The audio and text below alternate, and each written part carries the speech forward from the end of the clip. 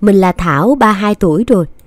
Ở thành phố thì chuyện này là thường thôi, còn đối với vùng quê của mình thì con số đó là cả một vấn đề. Bố mẹ cũng sốt ruột, cứ suốt ngày đi ra đi vào là nhắc đến tuổi của con gái.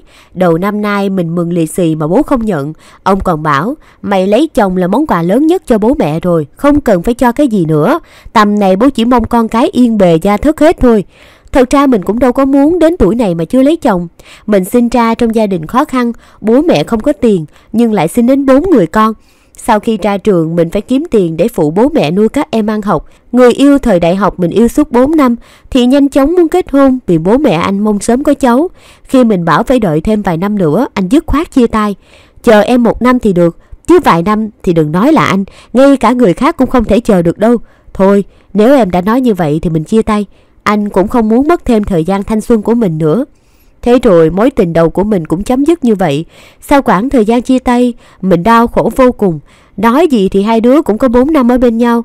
Nhưng vì hoàn cảnh, mình không thể nào đi lấy chồng rồi để hết gánh nặng lên vai bố mẹ như thế được. Cũng khá an ủi là các em mình đều có thành tích học tập tốt, cho dù nhà không có điều kiện cho đi học thêm. Sau đó mình có quen một anh tên Hoàng ở gần nhà, vì lớn lên đều đã biết gia cảnh của nhau, hai người có sự thấu hiểu nhất định, nên lúc đến với nhau mình đã nói rõ với anh. Anh thấy rồi đó, em còn có ba đứa em nữa, mai này nếu mình kết hôn, anh vẫn đồng ý cho em săn sóc chúng nó thì mình tiếp tục. Hoàng thì biết tính mình nên quả quyết rằng em của mình cũng như em của anh. Mình cứ lo cho các em thoải mái trong khả năng. Khi chúng mình đến với nhau, mình tỏ ra biết điều với nhà anh lắm. Thi thoảng nhà anh có công to việc lớn, mình đều có mặt để phụ giúp gia đình. Yêu đến năm thứ hai, Hoàng Bảo muốn nói với mình một việc quan trọng. Lúc đó mình nghĩ là anh muốn cầu hôn mình cơ. Không ngờ anh lại bảo, anh muốn đi nước ngoài làm ăn vài năm, kiếm đủ vốn rồi về quê xây dựng lại từ đầu. Lúc đấy bọn mình cưới nhau cũng có kinh tế hơn, con cái sau này đỡ khổ. Mình đắn đo nhiều lắm, đi khác tỉnh đã là cả một vấn đề, đằng này còn đi khác nước nữa. Nhưng khi ấy mình vẫn còn phải lo cho đứa em út ăn học. Dù Hoàng có cầu hôn thì mình vẫn chưa chấp nhận lời cầu hôn đó được. Có một việc mà đến bây giờ mình vẫn giấu bố mẹ Hoàng đã lấy tiền tiết kiệm của mình để làm hồ sơ đi Nhật. Lúc đó mình nghĩ hai đứa dù gì cũng sẽ lấy nhau.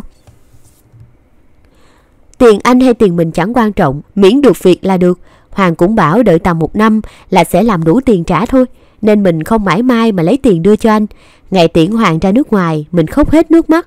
Bố mẹ thì thấy con gái 27 tuổi vẫn chưa cưới, còn cho người yêu đi xa như vậy. Ông bà cứ thở dài, mày dại lắm con à. Ở gần còn chẳng thấy đâu, bây giờ cách xa nhau như vậy, mấy ai mà giữ được đến lúc về.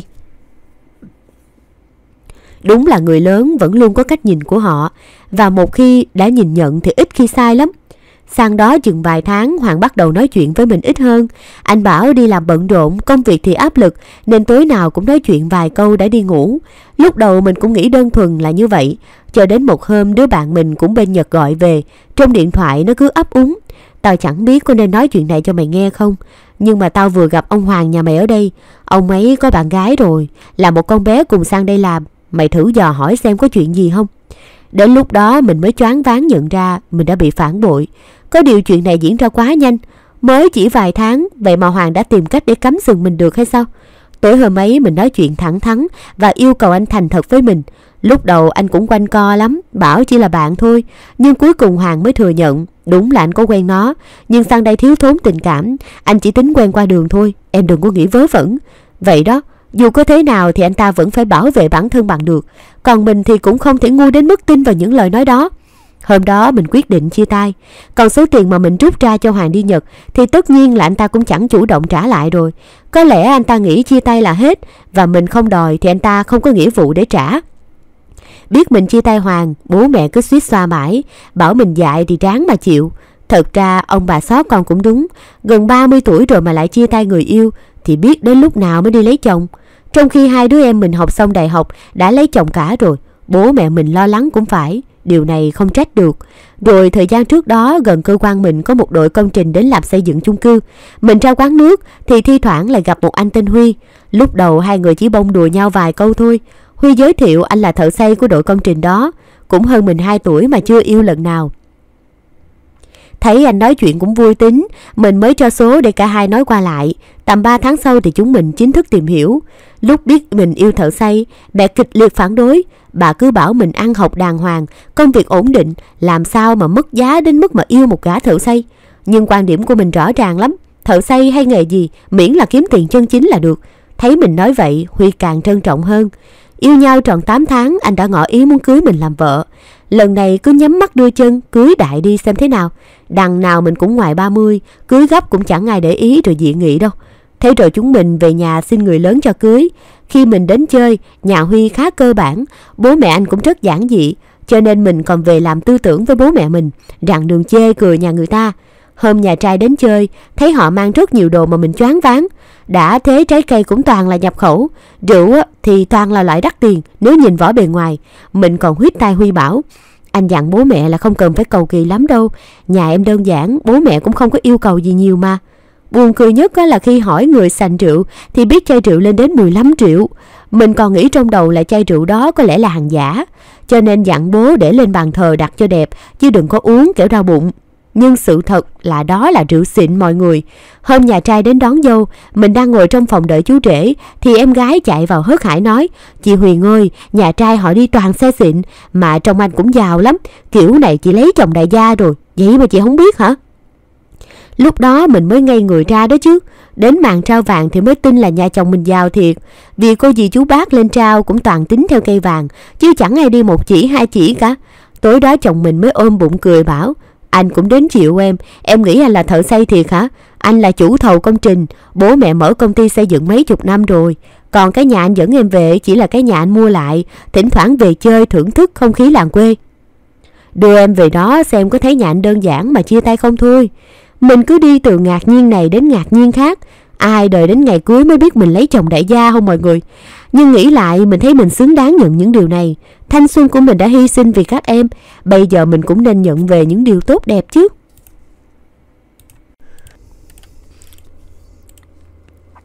Giặt bên ngô không bằng bà cô bên chồng, người ta nói vậy, chứ có bà chị dâu hãm cả cước thế này thì không muốn thành giặt ngô thì cũng bị ép thôi.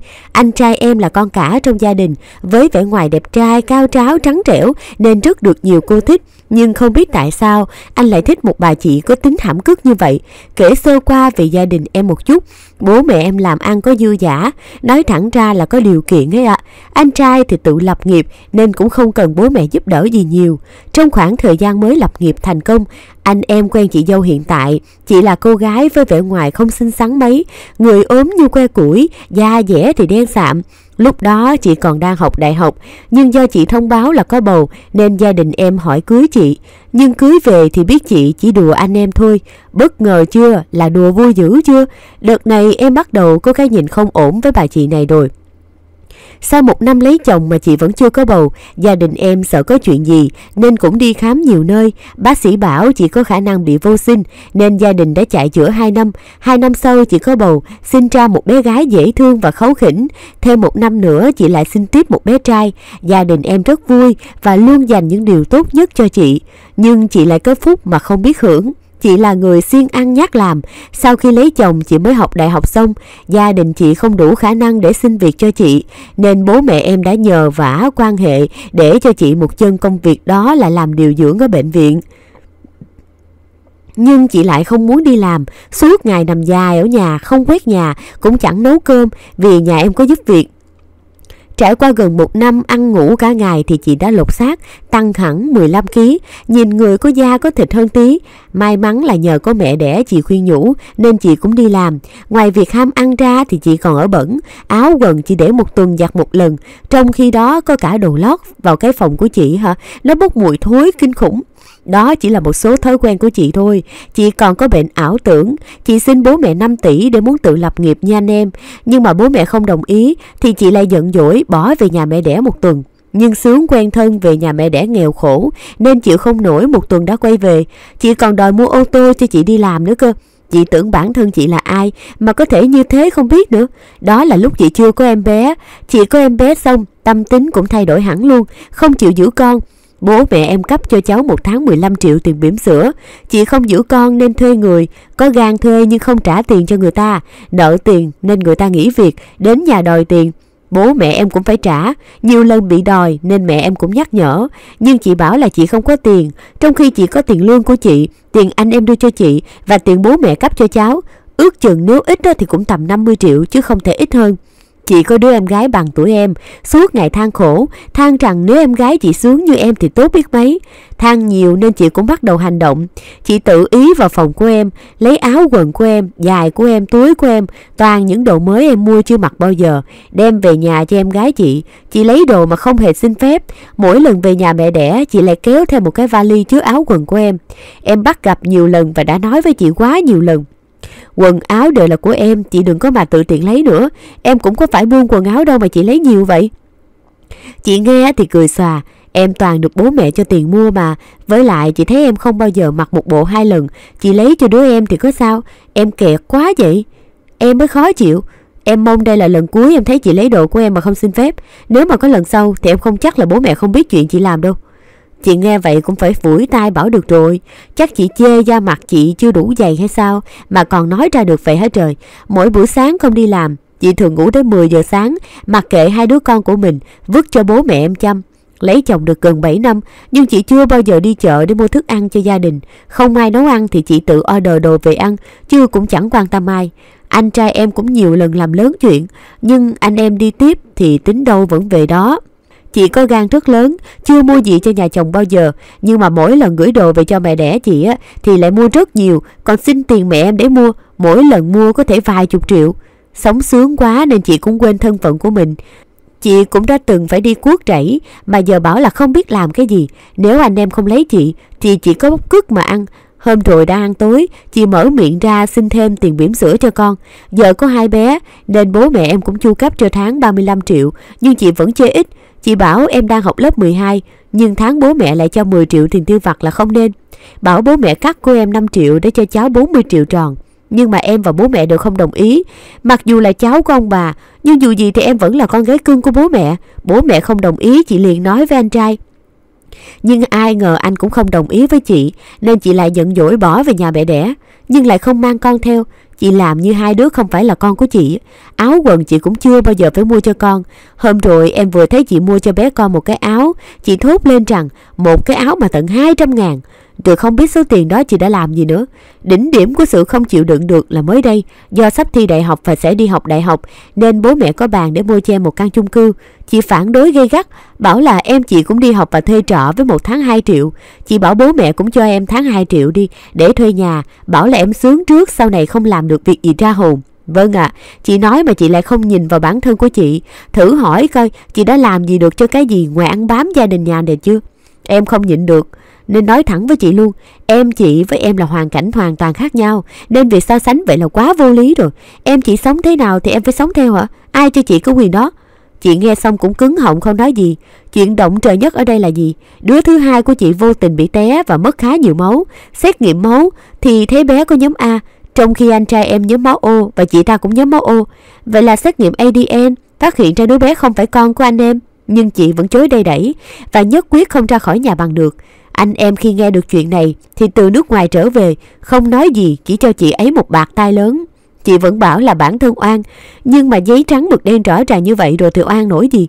Anh liền gọi bảo vệ cùng người nhà chị đến mà dọn dẹp, đuổi chị Cúc ra khỏi nhà này luôn. Đúng là gia đình thoát được kiếp nạn con dâu quá báo này. Mình là Thu An, 26 tuổi, một nhân viên văn phòng. Mình có nuôi một em chó Husky tên Đốm. Từ khi em còn rất nhỏ nên mình coi em như một người thân của mình vậy. Sống ở nơi đất khách quê người. Có em bên cạnh làm cuộc sống của mình thêm màu sắc và vui vẻ hẳn. Em hay đùa với mình lắm. Nhưng khi mình quát thì được cái cũng nghe và cung cúp vào chuồng nằm. Ngược lại với mình, Toàn, chồng mình, không thích em ấy chút nào. Vì tính cách em đốm tinh nghịch, năng chạy nhảy, thường leo lên người chủ mỗi lần thấy chủ về. Toàn cũng mấy lần bị ngã vì vừa né vừa đẩy nó ra. Anh bị dị ứng lông nên rất nhiều lần cả người anh mẫn đỏ, những vết thương phỏng rợp lên, trĩ máu. Mình phải bôi thuốc cho anh mất mấy đêm mới khỏi. Mấy con giày mới tin của anh phải cất trên cao vì nỗi lo chó gặm mất. Có lần anh thở dài nói với mình, em xem có ai cần mua, em bán cho người ta đi. Thế là hai chúng mình lại cãi nhau về chuyện của em đốm. Thấy thái độ quả quyết của mình, Toàn cũng không dám đề xuất nữa. Tuy nhiên mình có nghĩ cho chồng chứ, mình cẩn thận hơn trong việc vệ sinh phòng, nhất là phòng ngủ và phòng làm việc của hai vợ chồng. Khi nào đến giờ anh đi làm về, mình chủ động nhốt em đớm vào chuồng, hạn chế việc nó tiếp xúc với anh. Một ngày mình vẫn thả đớm ra như thường lệ, vừa bấm điện thoại vừa trong nó. Trong phút chốc mình lơ đễnh, đớm tha một tệp giấy và nhai nát ra khắp nhà. Khi mình phát hiện, giấy vụn đã tung tóe suốt từ ngoài vào trong. Hốt hoảng, mình thu dọn đống tàn cuộc trước khi chồng về. Để anh phát hiện, mình và đốm kiểu gì cũng bị ăn chửi thậm tệ. Mọi chuyện yên ổn cho đến hai hôm sau, Toàn hỏi mình với giọng nghiêm trọng, em có thấy tài liệu anh để trên bàn không? Mình chột dạ trả lời, nó có quan trọng không anh? Toàn tặc lưỡi ngồi suy tư, quan trọng chứ, tài liệu có đóng dấu của sếp anh. Hôm nọ anh quên không nhét vào túi, hình như là để trên bàn, giờ không tìm được là vất vả cho cả công ty. Mình im lặng, không dám hé răng nửa lời về sự thật mình che giấu. Tài liệu quan trọng như thế, bảo con đốm gặp mất thì toàn kiểu gì cũng sẽ tức giận đòi bán nó đi. Dù sao anh đã có ác cảm với nó ngay từ đầu. Đến tối hôm đó Toàn đi làm về, mình thấy anh ném vịt chiếc cặp xuống ghế và lặng lẽ ôm đầu. Anh sao vậy? Công ty có việc gì hả? Mình nhỏ nhẹ hỏi, lén nhìn nét mặt anh. Tôi biết hết rồi. Trong bịch rác, tôi tìm thấy giấy tờ của tôi. Sao cô không nói sự thật cho tôi? Mình lắp bắp. Em sợ... Đôi mắt anh đỏ ngầu nhìn thẳng vào mặt mình anh hét lên. Cô có biết nay tôi đi hết chỗ này đến chỗ kia tìm không hả? Cả công ty tôi nhao nháo đi tìm. Cô nhìn xem cô có bao giờ nghĩ cho cảm xúc của tôi không? Toàn khăng khăng gọi người bán đốm. Mình lao lại cản anh. Em đốm trông thấy thế thì sủa liên hồi Khiến Toàn càng điên tiết hơn. Trong lúc hai vợ chồng xô đẩy Điện thoại anh văng xuống vỡ tan màn hình. Toàn đơ ra một lúc sau đó chỉ tay vào mặt mình một cách tuyệt vọng. Mình sợ hãi ôm anh xin lỗi, nhưng Toàn đẩy mình ra, lẳng lặng vào phòng thu dọn hết đồ đạc. Cô chọn nó hay là chọn tôi? Anh đứng cạnh chiếc vali, mặt lạnh như tiền. Nhìn thái độ cúi đầu không đáp của mình, Toàn lao ra khỏi nhà. Mình phải làm sao đây? Chưa bao giờ mình thấy anh giận mình như vậy. Chồng tất nhiên là quan trọng hơn, nhưng đối với đốm mình là cả cuộc đời của nó. Chưa bao giờ nó phải xa mình. Mình không nỡ bán nó đi cho người khác. Mình là Long, con thứ hai trong một gia đình có hai thằng con trai. Anh trai mình là Thịnh đã kết hôn hai năm trước. Hai anh em mình hơn kém nhau có 2 tuổi, nên Dung chị dâu mình còn nhỏ tuổi hơn cả mình. Không biết có phải vì thế không, mình cảm giác chị rất trẻ con, không có suy nghĩ chính chắn như bao người chị dâu khác. Đã nhiều hơn một lần, mình thấy anh Thịnh dỗ dành chị bằng lời lẽ rất xến xúa, như công chúa ơi, em tha lỗi cho anh nhé. Bé của anh đừng giận nữa, mai anh mua quà cho. Và bà chị cứ ngồi đó bày ra vẻ mặt phụng phịu như trẻ con. Mọi người đừng hiểu lầm, quan hệ giữa mình và chị vẫn rất tốt đẹp, mình chưa bao giờ nói năng vô lễ với chị. Tuần trước mình dẫn em Nhi, người yêu mình về ra mắt. Mình chắc chắn rằng cả nhà mình sẽ quý em. Ngoài ngoại hình rất hiền lành, đúng chất thiếu nữ trong gia đình quyền quý. Nhi còn có tay nghề nấu nướng rất giỏi. Tiếp xúc với em mình đánh giá em là cô gái biết đối nhân xử thế, luôn luôn cư xử hợp lý, chưa để mất lòng ai bao giờ. Trước khi Nhi về ra mắt, mình có giới thiệu tất cả những thành viên trong gia đình mình, bao gồm cả chị dâu. Chị dâu anh bằng tuổi em đấy, có bạn chơi rồi sướng nha. Mình trêu chọc Nhi, em mỉm cười ôm lấy mình một cách hạnh phúc. Chị dâu anh trẻ quá ha, có chị ấy em sẽ bớt căng thẳng hơn. Buổi sáng hôm ấy, khi Nhi và mình vừa bước xuống xe, cả nhà mình đã đứng đón sẵn ngoài cửa. Bố mẹ mình tắm tắt khen Nhi, cháu gái xinh quá, Thảo nào thằng Long xây như điếu đổ. Nét mặt ai cũng vui vẻ ngoại trừ chị Dung, mặt chị tối sầm, có lúc mình bắt gặp ánh mắt chị sắc như dao liếc vào người yêu mình. Mẹ cầm tay Nhi hỏi em những câu hỏi mà các bậc phụ huynh hay hỏi như là quê ở đâu, Nhà có mấy anh chị em, khi nghe đến đoạn Nhi làm chức trưởng nhóm trong công ty với mức lương khá cao, mẹ mình suýt xoa một câu, người ta phải như thế chứ, có sự nghiệp đàng hoàng mới lấy chồng đúng không cháu? Bác thích những người giỏi như cháu lắm đó, long lo mà giữ em nha. Nhà mình ai cũng hiểu, trong câu nói của mẹ, hàm ý chị dâu mình chưa học xong đại học đã lấy chồng, nghề nghiệp không ổn định, làm anh trai mình vất vả chạy ngược chạy xuôi xin việc cho vợ. Mình không dám nhìn mặt anh chị mình, sợ họ lại đâm ra ghét Nhi. Đến lúc rửa bát, bốn anh em túm vào rửa cho nhanh, mình và anh trai mình đỡ bên cạnh giúp đỡ người yêu và vợ mỗi người một nhiệm vụ cho nhanh. Mình vừa bê rổ bát vào trong nhà, ra ngoài đã thấy chị Dung tác vào mặt Nhi. Người yêu mình đặt tay lên má, mếu máu, sao chị bắt nạt em? Chả thèm giải thích, chị Dung lao vào túm tóc Nhi. Người yêu mình thấy chị không nhường thì cũng chống trả lại. Hai người lao vào đánh nhau túi bụi. Mình một bên, anh Thịnh một bên. Cũng không thể ngăn được hai người phụ nữ đang nổi máu nóng. Mẹ mình chạy ra quát. Con Dung, em đến làm khách có chuyện gì không vừa lòng thì từ từ nói. Sao lại đánh nhau thế hả? Thì mọi chuyện mới dừng lại. Bố mình lên tiếng trách chị Dung không coi ai ra gì, không giữ thể diện cho gia đình. Lúc này chị Dung khóc lóc chỉ thẳng vào mặt Nhi. Chị nói, bố mẹ cứ khen nó đi, nó không hiền lành gì đâu. Hồi con đi học á hả, Hồi còn đi học nói là đứa lừa tình, yêu hết đứa này đến đứa khác, nó còn cướp cả người yêu của bạn thân con. Lúc gặp mặt con đã nhận ra, nhưng con bỏ qua coi như không có chuyện gì. Thế mà lúc rửa bát, nó cố tình trêu ngươi con, lên tiếng thách thức con nói chuyện ngày xưa của nó. Mình ôm Nhi đang khóc trong lòng, mái tóc dài của em rối xù lên vì bị chị Dung giật. Em nhỏ giọng nói mình đừng tin chị Dung. Chị ấy có lẽ không thích em nên mới bị chuyện. Nhìn em như thế mình đau lòng không thôi.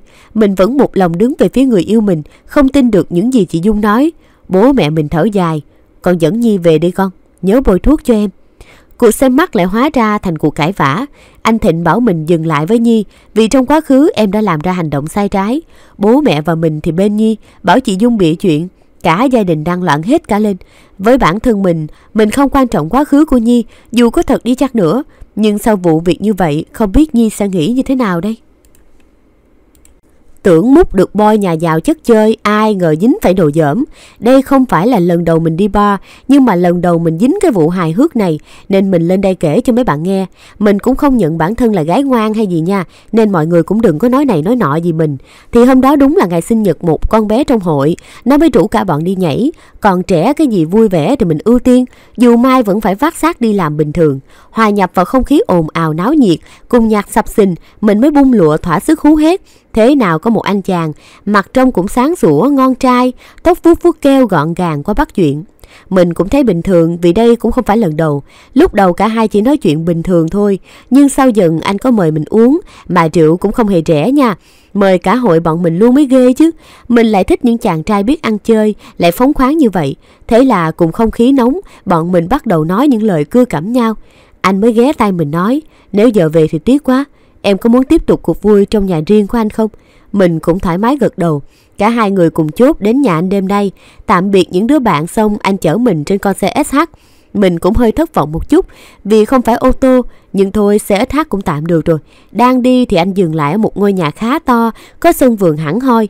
Mình bừng thầm xuống xe, đang tính vào nhà thì anh chặn mình lại hỏi. Em đứng đây đợi một chút, anh nói thằng bạn ra trả xe đã. Mình kiểu ủa alo, chấm hỏi luôn á. Không tin vào tai bản thân mình, định hỏi lại anh, thì thằng bạn mà anh nói đi xuống, bạn anh nhìn xe được càm ràm. Thằng này, mày mượn xe đã đổ xăng cho tao chưa? Tự nhiên thấy anh cứ hèn hèn á, nói giọng nịnh nọt. Tao đổ xăng cho mày đầy đủ rồi, sao đi bạn Hiền vì về muộn nha. Nói xong anh chạy lại cười với mình, anh gãi đầu bảo. Hừ, nhà anh cũng trong khu này thôi, mình đi bộ qua đó coi như vận động chút nha. Ngó ngó qua khu này, mình thấy nhà nào cũng to đẹp như khu của nhà giàu vậy, nên vẫn gắn hy vọng một chút mà đi theo anh. Cả quãng đường mình tò mò hỏi anh, Ủa xe đó không phải xe anh, thế thì anh bình thường đi xe gì? Anh mới tỉnh bơ trả lời, à, bình thường anh đều được đưa đón ấy mà, không có tự đi xe. Sau mới biết được xe anh đi là xe buýt, hài vãi, giờ nhắc lại vẫn thấy mắc cười. Mà chuyện hài không dừng ở đó nha, nhà riêng mà anh nói là phòng trọ nhỏ lụp sụp, lối đi vào con đường đất tối thui. Đến giờ mình đã hiểu được, dính phải thằng xạo rồi, mà giờ chạy chưa chắc nó đã tha, nên mình giả vờ ngoan ngoãn đi vào. Phòng nóng ẻ, đã vậy quạt chạy như không chạy, mình muốn phắn về nhà lắm rồi. Anh nhìn mình rồi quan tâm hỏi, em có khát nước không? Đợi tí anh nấu nước mà uống nha. Mình từ chối dục anh thôi em không cần đâu Anh tắm rửa sạch sẽ đi Rồi đến lượt em tắm nữa Người em giờ toàn là mồ hôi thôi à Thằng này nghe thì mắt tự nhiên sáng lên hào hứng nói Ok em đợi anh chút nha anh sẽ cố gắng nhanh, Em cứ tự nhiên coi như ở nhà đi nha. Nói xong anh vào nhà tắm, Chưa vào được 5 phút, Đã ngó đầu ra nhắc mình cứ tự nhiên. Chắc sợ mình chạy hay sao đó mà trình mãi. Thì nó đoán cũng đúng rồi đó. Lợi dụng nó đang tắm thì mình cũng cút xéo luôn. Chạy vội chứ ngu gì ở đó hả mọi người? Vừa chạy vừa gọi trap đến sách về. Sợ hãi, Tưởng câu được con cá to, Ai ngờ trúng con cá dởm. Đây cũng là bài học nhớ đời của bản thân luôn. May thằng này nó khờ, Chứ thằng khác chắc không còn thân mà về rồi. Tôi là Nam 18 tuổi Tôi có một người chị không bình thường Lúc mẹ tôi mang thai chị ấy có bị cho cắn Nhưng hồi ấy nhà nghèo lắm Chỉ lo đi kiếm tiền trang trải thôi Chẳng còn hơi sức đâu để lo chăm sóc sức khỏe. Mẹ không tiêm phòng, chỉ nghĩ vết cắn ngoài da không ảnh hưởng gì nhiều. Nhưng rồi điều ấy ảnh hưởng đến thai nhi. Chị tôi đã được sinh ra không trọn vẹn. Chị ấy bị tâm thần. Tôi kém chị một tuổi thôi, nên chẳng lớn hơn nhau là bao. Nhiều người còn tưởng chúng tôi là sinh đôi. Hồi cấp 1, cấp 2 tôi ghét chị lắm. Tôi thấy chị chẳng được tích sự gì cả. Ăn cơm lúc nào cũng rơi vải, tắm cũng phải để mẹ giúp. Lúc nào cũng hấn ha hấn hở, thỉnh thoảng thì vì một chuyện nhỏ cũng khóc toán lên.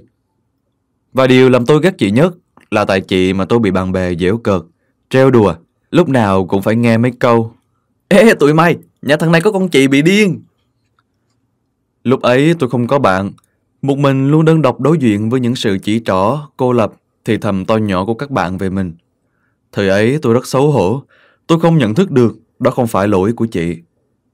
Tôi cho rằng mọi phiền phức, nhục nhã của tôi đều từ chị mà ra, nên tôi căm ghét chị lắm.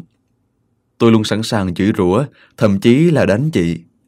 Mẹ nhiều lần nhắc nhở tôi, nói chị kém may mắn, chị thiệt thòi, nên tôi phải thương chị nhiều hơn. Nhưng với tôi lúc đó, chị chỉ là một đứa đầu óc có vấn đề không hơn không kém. Nhưng dần dần, khi lên cấp 3, tôi có những người bạn họ thông cảm với tôi. Họ không cười cợt những chuyện như vậy. Tôi dần hiểu ra rằng chị không có lỗi, lỗi là của số phận đã bắt công với chị. Lỗi của những con người đã chà đạp lên nỗi đau ấy. Tuy tư duy của chị tôi không bình thường, nhưng chị thương tôi lắm. Từ lúc nhận ra lỗi lầm của mình, tôi gần gũi chị hơn, không hần học, làm lì nữa. Chị vì thế mà vui lắm. Lúc nào cũng hớn hở hỏi tôi có khát không để lấy nước, hỏi tôi có đói không để lấy đồ ăn. Cứ 5 phút lại hỏi một lần, nhiều khi bực lắm, nhưng cũng thấy đáng yêu. Chị không tròn vẹn, nhưng tình yêu thương chị dành cho người em trai này luôn bao la vô cùng. Chị hay chăm sóc tôi bằng những hành động nhỏ như mất màn nếu tôi quên, dọn dẹp phòng, chỉnh chăn cho tôi nữa. Có lần, chị tôi đứng cổng chờ đợi tôi đi học về. Tôi đùa nhau với bạn. Chị thấy tưởng tôi bị đánh liền chạy ào ra ôm chầm lấy tôi khóc toán lên. Đừng đánh Nam, không được đánh, không được đánh. Lúc ấy, tôi không còn thấy ngại với bạn bè nữa mà vui lắm. Vui vì chị luôn dành cho tôi tình yêu thương vẹn toàn nhất. Chị không hoàn hảo nhưng tình yêu thương chị dành cho tôi lại hoàn hảo vô cùng. Do điều kiện gia đình không dư giả để thuê người chăm nom chị, nên mọi ngày bố mẹ đi làm, tôi đi học. Chị ở nhà một mình cũng quen rồi. Nhưng hôm nay, thấy tôi về đến nhà thì thấy mẹ sốt sắng hỏi chị có đi với tôi không. Tôi vừa mới đi học về, tôi đâu có dẫn theo chị. Tôi định chạy đi tìm thì thấy chị lững thững về, quần áo sọc sệt mặt ngược, trên tay còn cầm một bắp ngô. Mẹ vội vàng kéo chị vào nhà hỏi chuyện, chị vẫn hớn hở kể. Người ta bảo cởi quần áo ra để làm cái này một tí rồi người ta cho bắp ngô. Mẹ tôi kích động, túm chặt lấy chị gần hỏi bảo chị kể rõ. Giây phút ấy tôi chết lặng, không còn gì thay đổi được nữa, không còn gì đau đớn hơn được nữa rồi. Lũ khốn nạn ấy đã lợi dụng chị, chúng hãm hiếp chị tôi. Mẹ tôi suy sụp, rồi ngồi gục xuống một góc. Nước mắt lại chả rơi, rồi gào khóc. Chị thấy mẹ vậy thì sợ quá run lại bẫy bám lấy tôi. Chị không hiểu được mọi chuyện đang xảy ra. Tôi dắt chị vào phòng trấn tĩnh. Cảm giác lúc ấy của tôi đau đớn lắm. Tôi là em trai, mà không bảo vệ được chị. Tôi là loài đáng chết. Lúc ấy, mắt chị dưng dưng, dưng tay vẫn bẻ đôi bắp ngô, đắn đo rồi đưa tôi phần nhiều rồi nói. Chị không đau đâu, Nam ăn đi, cho Nam nhiều hơn đó. Tâm can tôi bây giờ quặn thất lại, không chấp nhận được. Chị của tôi sao lại phải chịu bất công như thế? Trong cái cảnh này, chị vẫn hồn nhiên mà nghĩ đến tôi. Em xin lỗi, xin lỗi vì để chị phải uất ức. Em nhất định sẽ bắt chúng nó phải trả giá. Sau này, chị sẽ không có chuyện gì xảy ra nữa. Em xin lỗi, xin lỗi người chị vĩ đại của em. Mẹ tôi năm nay cũng ngoài 50 rồi, nhưng chưa hôm nào tôi thấy bà nghỉ tay. Từ ngoài vườn, trong nhà rồi đi chợ, hết việc nặng rồi lại việc nhẹ, bà chưa một lần cho phép mình thảnh thơi. Mẹ tôi từng tiện, cóp nhặt từng đồng. Đến giờ, bà vẫn mặc mấy bộ quần áo đã cũ sờn, khâu đi khâu lại bao nhiêu lượt. Có lần tôi hỏi sao mẹ không mua quần áo mới mà mặc. Mẹ tôi chỉ bảo, quần áo cũ tao vẫn mặc được, mua mới làm gì cho phí ra. Mẹ tôi là bà Hoàng trả giá, chúa tể kỳ kèo. Đi chợ với mẹ tôi cũng phải bái phục với đẳng cấp ấy. Trả giá cái áo 300 ngàn đồng xuống còn có trăm ngàn. Mua miếng thịt lớn là lúc nào cũng phải kèm thêm miếng nhỏ. Mua mấy rau một ngàn cũng phải mật cả. Nhìn mà nóng mặt thay cô bán hàng. Tiết kiệm là quốc sách. Mẹ tôi là người phụ nữ keo kiệt. Ăn cái này làm gì? Toàn đồ Trung Quốc. Về mẹ nấu cho mà ăn. Cái áo này vẫn dùng được sao mày vứt? Không đưa đây tao mặc tạm đi lao động. Cái gì? Mua mấy thứ on ủng này về dăm bữa nửa tháng là hỏng. Đưa tiền đây tao mua cho. Hồi còn nhỏ, tôi thường lẻo đẻo đòi đi theo mẹ. Thấy bạn có tiền mua quà ăn vặt, có hộp sữa, có bánh quy. Tôi nhìn mà thèm. Tôi ghét mẹ vì tôi không mua được nhiều đồ như bạn bè cùng trang lứa. Vì mỗi lần lăn ra khóc mè nheo, mẹ lại mắng tôi. Mày có im đi không? Tao cho mày ra ngoài đường ở bây giờ. Lên đại học, tôi mặc cảm với bạn bè vì không có laptop để học. Tôi đâm ra trách móc mẹ. Không chịu ăn, bỏ ra nhà bạn. Về nhà thì à, tất nhiên rồi, tôi bị ăn đòn tím cả chân, nhưng không chịu từ bỏ. Tôi xin đi làm để tự trang trải cuộc sống đại học. Mẹ kêu, mày thiếu thốn đến đâu mà đi làm? Mày sinh viên thì kiếm được bao nhiêu? Ở nhà tao lo. Đúng, mẹ tôi là người phụ nữ keo kiệt, keo kiệt ngay cả với chính bản thân mình. Nhưng với tôi, bà vẫn là một người mẹ tuyệt vời nhất. Quần áo bà rách, nhưng lúc nào cũng phải để tôi mặc đẹp nhất. Tôi đòi ăn mấy đồ nào là pizza, gà rán, mắng thế thôi, nhưng hôm sau bà vẫn đi hỏi người ta để mua bằng được cho tôi. Nhưng mỗi lần tôi hỏi mẹ ăn cùng, bà chỉ bảo, mày ăn đi, tôi không thích ăn mấy thứ này, đau bụng đừng có kêu tao. Cứ cầm ràm hoài như vậy mẹ có mệt không? Có chứ. Những lần giận dỗi mẹ tôi đâu biết rằng mẹ vẫn đang nặng trĩu nỗi lo cơm áo gạo tiền. Tôi đâu biết mẹ vẫn phải vay tiền người ta lo cho tôi ăn học. Tôi đâu hiểu được nỗi khổ tâm ấy. Có lần, thức khuya xuống nhà, tôi nghe thấy tiếng mẹ đã khóc. Hóa ra, người phụ nữ thường ngày tỏ ra mạnh mẽ, là siêu nhân, cũng có những lúc yếu đuối như thế.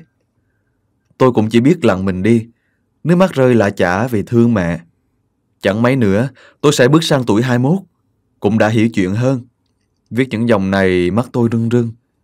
Chỉ mong rằng mẹ tôi mãi khỏe mạnh. Tôi yêu cái keo kiệt ấy của mẹ tôi.